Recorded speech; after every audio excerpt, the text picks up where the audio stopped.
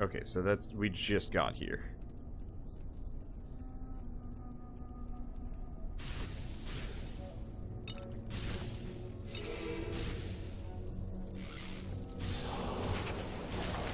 Oh. I thought it was like a beam that I was supposed to... Well, it's faster than the lightning, I'll give it that. But I thought it was some something you had to like...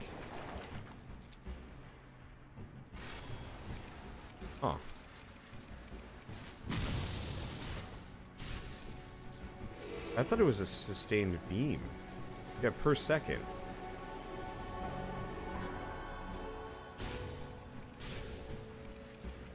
Uh... Also, spells can crit. We have an answer on that one. Maybe, maybe it is... Man, I have no idea. I don't know what's going on. I have broken things. It, I mean, I fire it like once per second, give or take, so it's not so bad. I just thought it was supposed to be like a sustained beam move.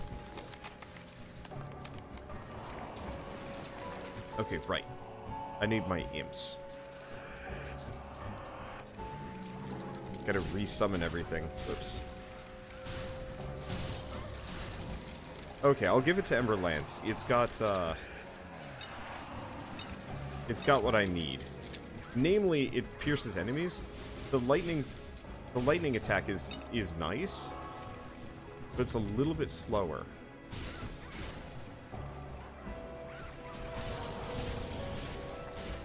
And so this way, especially if my, um, my cast speed scales up as we go along, I can go into, uh, laser chain gun mode. And that should work out for me? Huh. This also gives me something to do uh, stat point wise, because I think it scales based off of my my magic stats. So if I just pump like buttloads into magic, I can just run around nuking things.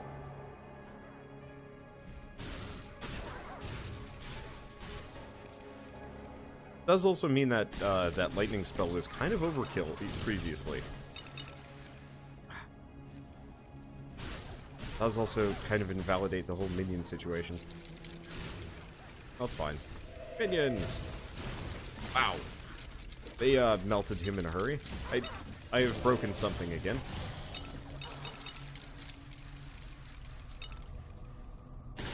Oh, hey, merchant. Mana, strength, no. None of these are really that helpful. What does he have? Summon zombies too. There is also haste.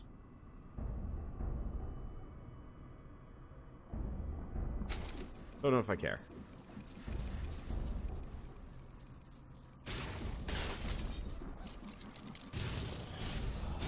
Die! Okay, I will, I will give it a lot of credit. Ember Lance is fun. I don't know if it's going to scale as well, but it's fun. Okay, so where are we going? Probably down south. This is, I think, by far my least favorite of all of the zones. It's not bad, but the, there's no, like, level design. It's just a, a series of, like, disjointed islands connected by uh, rope bridges. Makes it kind of hard to navigate comparatively.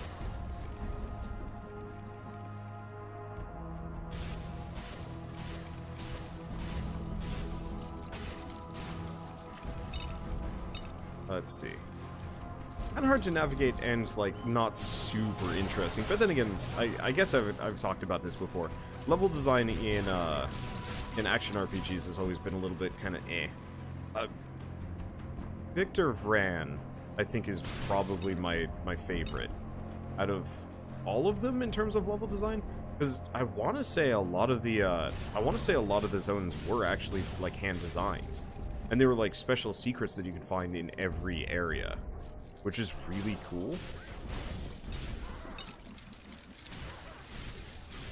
I'm a little, I'm a little sad that I've never actually managed to do a full series on the game, because it seems neat.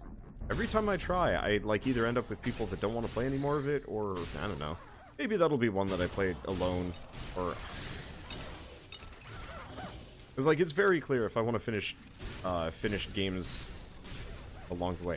I don't know if I need that Berserker skill.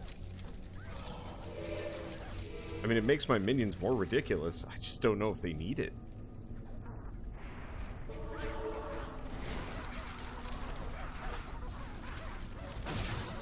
Let's see. But now, one thing I've uh, kind of realized over the years is that if I like want to finish certain games, I really do just have to play it myself. Some some games, even though they be multiplayer and fun, are just going to be too too hard to do otherwise. Part of the reason why I've been like um, doing like EDF for example and God Eater alone, even though yeah I could potentially like cobble together some kind of group for it. Sometimes it's just easier to just be like, eh, it's easier easier to do this on my lonesome. You know, grab fans when they're available, and that's about it. Okay, stairs down.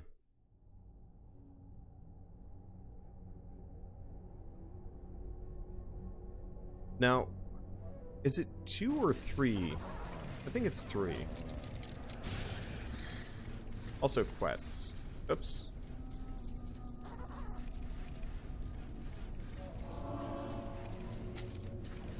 We've actually got to go back to floor 10. Uh, I mean, I could just ignore ignore the side quests. But yeah, I've apparently missed a, uh, a mid-boss somewhere.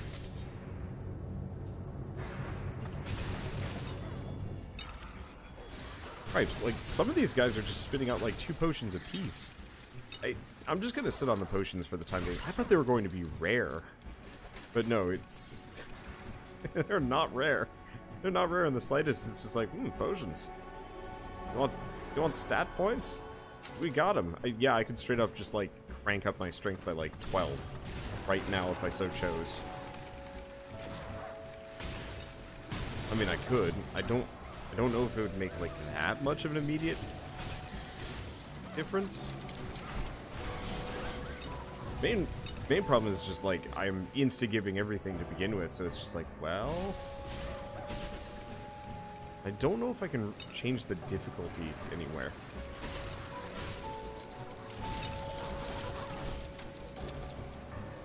I don't think so. I, th I think it is entirely like based on when you when you start. There might be a mod for changing your difficulty along the way. It is nice to actually be uh, an effective member of the party. And boy, am I effective. Let's just dump these. Ooh, Gaston's band. Pet minion speed.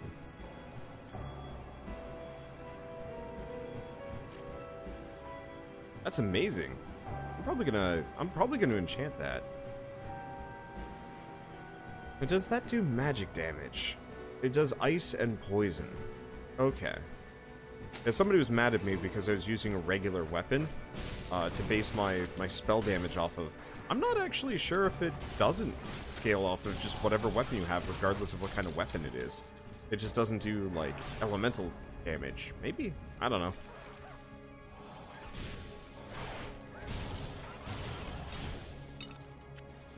Oh, it's fine.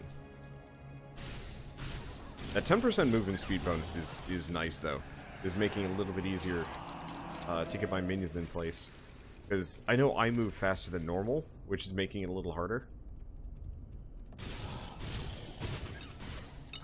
So yeah, I, I think we're just going to go bananas enchanting that ring. Be nice if it kept giving, like, pet-related perks, but I, it'll probably just start giving, like, random stats. It would be nice. Actually, you know what this game needs? I don't know how many of you guys played Darksiders 2, but that had like a really interesting like uh, leveling weapon system.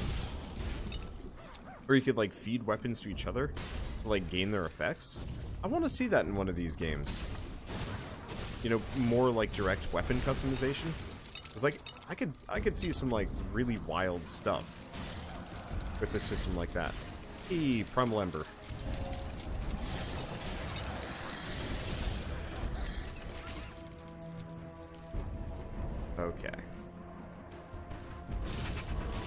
Kind of silly that I, I completely missed that, uh, the one side quest. Not that it matters too much, but like, now I'm gonna have to actually do some serious backtracking just to finish it. It'd be nice if it just spawned it on whatever the next level is, and then scaled the reward based on, like, whatever. Oh well. Okay, uh, let's keep pumping it into min uh, pet mastery. My magic damage insane.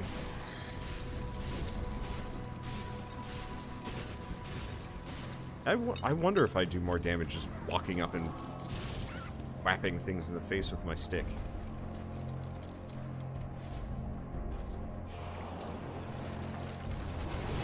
Hard to say. I mean, honestly, I do more damage just letting my pets do all the work. I just got jealous. Their kill count is super high, and I'm, I'm just sitting around being like, hmm, some of my weak-ass poison magic missile. Now I've got snipey beams. My pack is full. My pack is full. Bull hockey. My pack is full. Oh. My dog's pack is full. Get out of here, dog. Three seconds. Holy crap. Alright. Wait. That faster cast speed. That's not as good, though.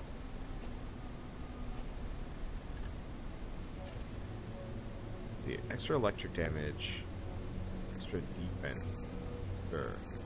Probably actually use some of these gems. Most of them do resistance, though, so I'm a little bit less interested in that sort of thing. Alright, let's send my pet off. It'll be back in uh, no time. Back. That is... Yeah, okay, minion, minion, minion mastery is just too good. Lasers are pretty good, too. Because, yeah, I could just sit here just, like, spit-firing lasers left and right. And it works amazingly well. It might not do as much damage as, some of my other things, but uh, is real fast and it hits everybody.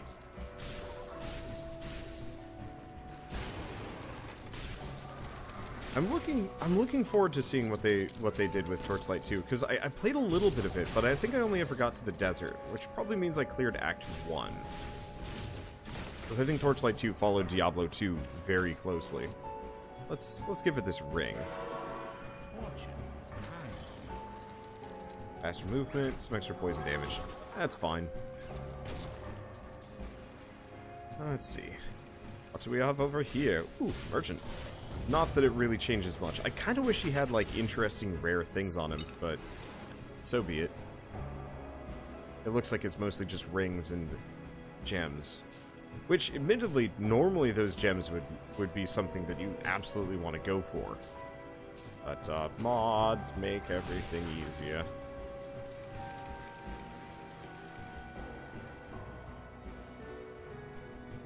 Onwards. But yeah, I, it always amuses me uh, about these games. The uh,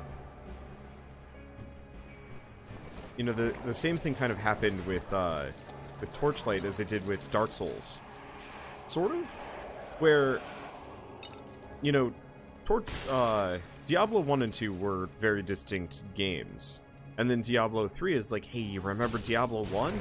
And Diablo 2, well, we're we've got kind of these homage levels over and over and over again. Um, and it wasn't actually so bad, but like there were definitely there was definitely a, a certain lack of originality in the uh, the biomes that you walked through. And I will admit, Torchlight kind of uh, ignores the whole like you're going down into a uh, dilapidated and very clearly evil church in favor of sending you down into caves and like ancient crumbling civilizations and stuff. I guess we did go into kind of a crypty thing for a while. First it was a cave, then it was a crypt, then it was like a weird jungle? I think I want to say like Diablo 2 probably did it best. Because like each region was distinct, had multiple biomes within it, side areas, side quests, and it like felt like a real adventure. Uh, I liked I liked the claustrophobia of of Diablo 1. Like it was it was fun more or less just going down one long linear dungeon. I mean technically you could say that like Diablo 2 was linear, but it had a bunch of like side caves and stuff to check out, so it didn't feel as like linear. But uh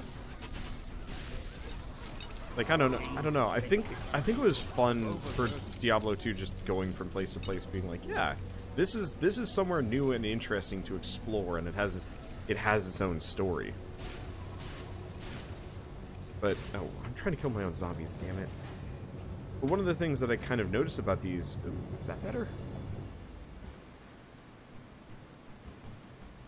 All fire damage. Is this fire damage? It is fire damage. One of the things that I found kind of interesting about it is that every every other follow-up game kind of tries to capture lightning. You know, they're they're trying to do actually the same thing. Uh, you know, they they they kind of go through the same like pattern. You know, the first game, it's one long dungeon. You know, there might be a little bit of like side stuff to do, uh, but you go straight down because they effectively want to remake Diablo, but in, you know, in their own style. So, you know, Torchlight 1 did this. Book of Demons did this. There's a couple other ones. And then, like, most of them honestly try and copy Diablo 2, which is probably for the best, but, like, Torchlight 2 very clearly follows the exact same patterns as Diablo 2 instead of just going down into this one lengthy dungeon thing, you are actually going... You're going places, and there's more of a story. Eh, there's a story in this one, but it is is very much like, you know, someone important went insane, and everything is going kind of bad up at up at town, yada yada. But then again, I guess Torchlight was also made by ex-Blizzard developers who probably, you know, more or less just left after Diablo 2 and when they realized that, yeah, Diablo 3 wasn't coming for a while and made their own studio. Other games have followed this trend. Um, I guess not exactly in the same vein, but Dark Souls kind of did this. You know, Dark Souls 1 and 2... Huh. We'll have to see how this goes. Yeah, yeah, Dark Souls was kind of unique and interesting, but very claustrophobic. You know, kind of all in the same location. And you do go to different places, but it all still kind of feels like you're within the same kingdom.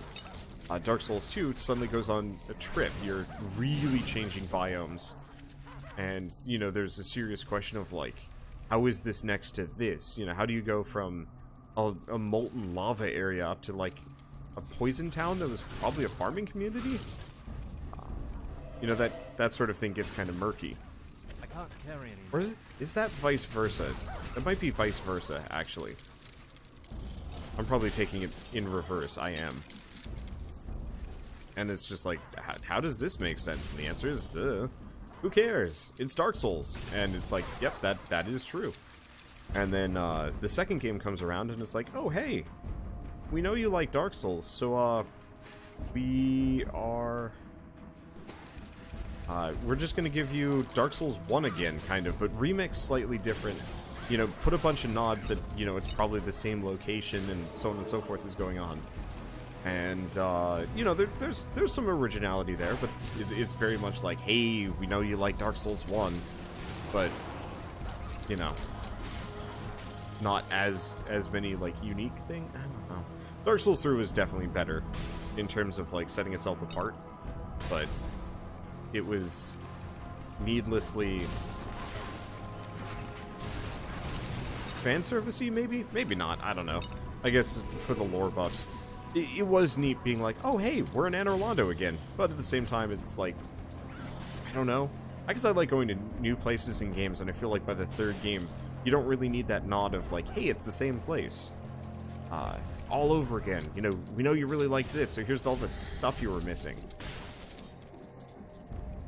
games do that. Oh, I guess sort of in the same vein. Uh, so, same vein. We've got a bunch of, you know, Dark Souls clones kind of coming out. Games that want to kind of match the the same look and feel. And Lords of the Fallen uh, is, I guess, the first one I go with. Probably put my videos out on that. Uh, now that I've got uh, some level of like internet here, I could actually start getting that edited up. Um, God, that's an old series that I just have had sitting in the backlog forever. Uh, Phil's been asking me to put that up for ages. Uh, let's see, but yeah, Lords of the Fallen was very much a Dark Souls inspired game. You know, very claustrophobic, very limited. Uh, kind of slow, kind of clunky. Definitely had some bugs.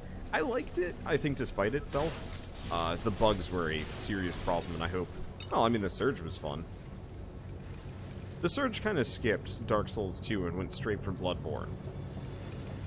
Honestly. But... wasn't bad? I don't know. I like... I like Dark Souls clones because they're three they're 3D Metroidvanias at their heart. I'd like to see more that actually like follow that trend of like true open exploration. Uh, the one thing like uh, eh, I guess in Dark Souls 2, at least when you're when you're going after the initial boards, let's see. All physical and elemental damage by a bunch. No. I like my Serpent Gauntlets too much. We also have these sparking Sparking Cephalopod Staff.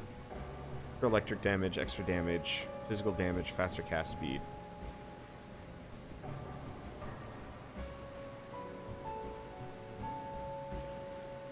It's a bit better. It also has some gem slots, which is important. What I really want are one-handers, though. I gotta keep an eye out for those. But uh, what's a good example of a of a proper? Well, I mean Hollow Knight. Hollow Knight is probably the best Metroidvania I have ever played, and until Sil Song comes out, it's probably going to be the best Metroidvania of all time. I know that's probably a controversial statement, but still. Um, but so Dark Souls kind of actually really heavily follows Metroidvania styles, and it makes me want to see more games that actually kind of follow the trend as well. I think it's just harder to do. But, like, I'd actually really like to play a 3D action RPG set in a very, like, limited location with a lot more, like, free exploration. Almost maybe even to the point where you get rid of leveling and stuff and you just say, like, here's the map, here's a bunch of weapons that you can find.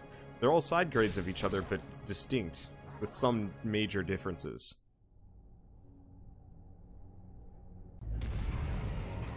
Okay, I think... I think we found the boss.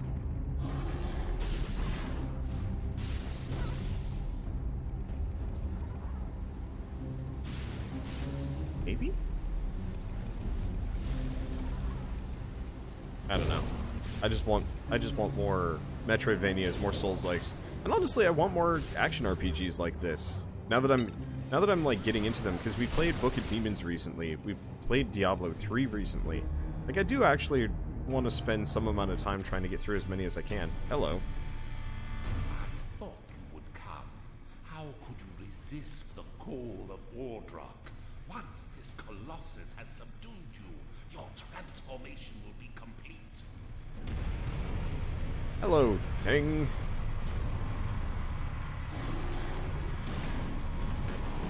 Man, I love indie games. They're not, like, super like, standouty in a lot of cases.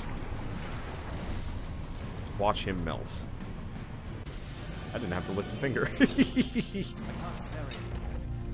okay, so let's get rid of some of this. Is that belt better?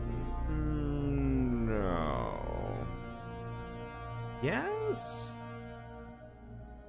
No. Shield's not much better. We're starting to load up on embers which is a problem. Okay, is that better? Elemental Ice, increased magic find. Yeah, that seems better. Okay, what about these? Requires dexterity.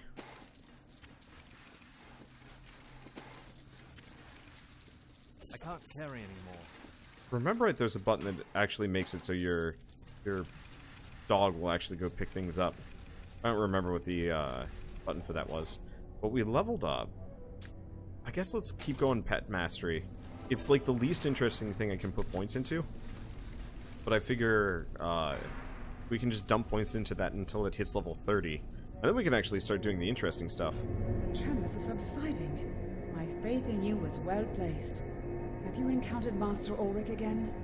I will have to deal with him eventually. I cannot allow him to become a servant of darkness.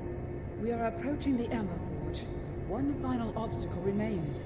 The Overseer's notes mention an ancient fortress infested with goblins.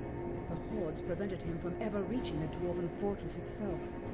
Defeat the goblins, and we'll be close to our goal.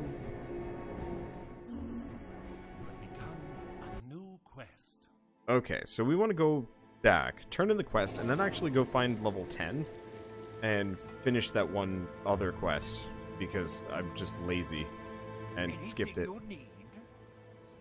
Primal Ember, incredible. The Ember Blight is growing stronger as we obtained samples from deeper in the mountain. I would say that something in the depths is influencing the entire Ember vein. But of course, that's absurd. Nothing is powerful enough to do that. Perhaps it's just the spirits of the lost clinging to the veins. Where the pieces you brought me are near to one another, the blight appears to be amplified. I'll keep them well separated from now on, but I need more samples for study. Savage ember has sometimes been found in the caldera of volcanoes. If you delve deep enough, you may find the molten rock required for its creation. Please, bring me any samples you come across. Okay. So we've got not stuff to sell, we've got stuff to drop off. Potions. How many stat points? I've got like easily an extra 30 in almost every stat, if I really wanted to. Okay. What is this? Ice damage, caster speed. We might as well. Okay, let's move these over. Sell everything. Make buttloads of money. Okay. Yeah, somebody had said, by the way, identify items, they sell for more. They were right. They do. Okay, what else do we have? We have bling. Okay. Well, that's a little bit outside of my uh, price range, honestly. But it's definitely cool. Uh, let's see. You. We upgrade this? How much is it going to cost?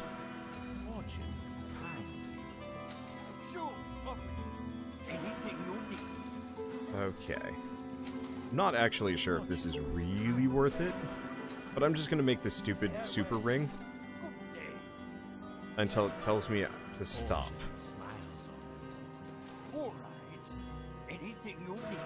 It doesn't seem like there's a limit here.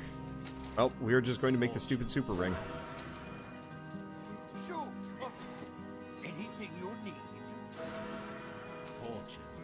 And this way I'll just not replace this ring for a considerable amount of time. What can I do? And then probably jam some jam some things into it. Is kind. Sure. Good day. Okay, enchantment overload. Admittedly, most of these are just boring stat bonuses, but you know what? It's nice. It's a good ring. okay, uh, let's see. Next order of business.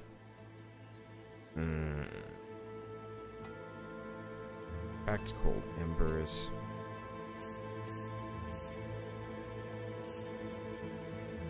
Dull, poor embers.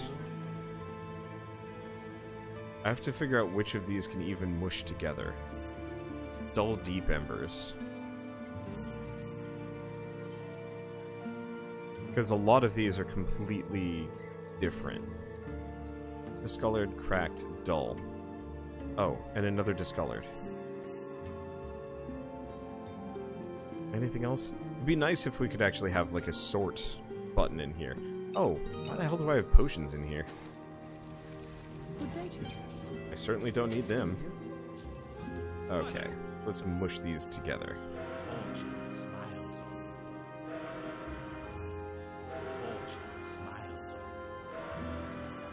Yeah, I just wanna I just wanna jam all these down. Now I could put something into my Gaston's band, but like most of these just give like small stat bonuses, and I'm like, eh, not convinced they're necessary. Okay, and it doesn't look like anything else can mush together there. Uh, let's grab the that.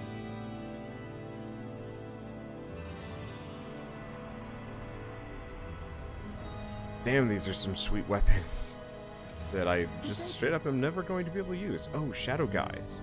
Oh, I was looking my own helmet. Foolishly, I gotta replace my helmet. It's kind of crap. A lot of my stuff is kind of crap, honestly, but th that's okay. Uh, let's see, what do we do next? I'll go look at the fish guy for a second. Because if I remember right...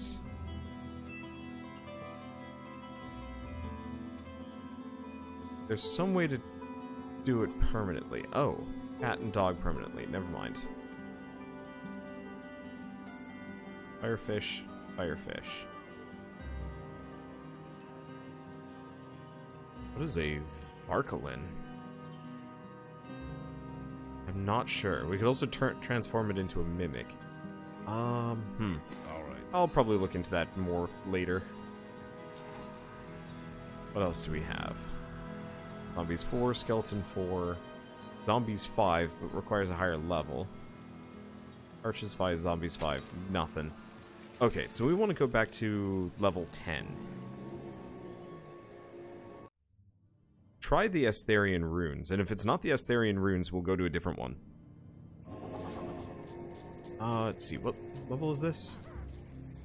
If I do exit portal, will it tell me what level I'm on?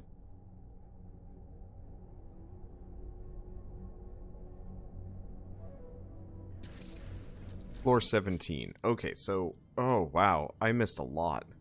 Is this even worth it?